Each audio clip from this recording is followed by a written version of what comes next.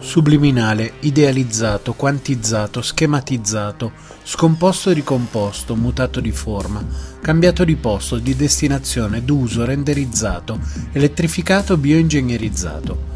Questo è l'uomo di oggi, come viene descritto dai giovani artisti che danno vita a questa collettiva microroom. Il percorso può partire da Alessia Gatti, che scompone nella logica da settimana enigmistica sia il luogo principe del pensiero sia il suo strumento. Così la testa annega nel nitore ottico di definizioni orizzontali e verticali che permeano l'ambiente circostante. Ambiente che trae la propria energia, come è ovvio, dalla presa di corrente elettrica, oggettivata e portata ad una sorta di dimensione sovrareale nell'opera di Linda Antonietti.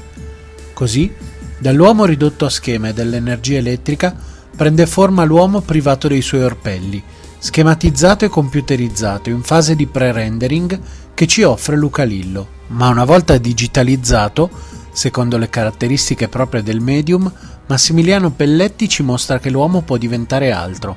La forma resta la stessa, è vero, ma può cambiare sia la destinazione, e allora perché non produrre crani surgelati precotti da tenere in frigo pronti per l'uso, sia la forma da montare sulla struttura base, ed ecco quindi una pelle fatta di biscotti per cani.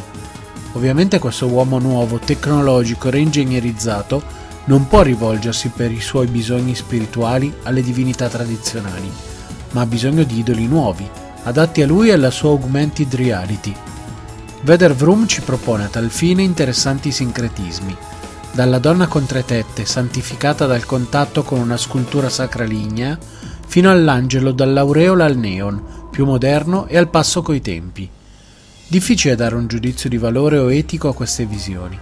Forse è meglio lasciare che ci provochino, che ci pongano delle domande su ciò che siamo, su ciò che possiamo diventare, su ciò che saremo.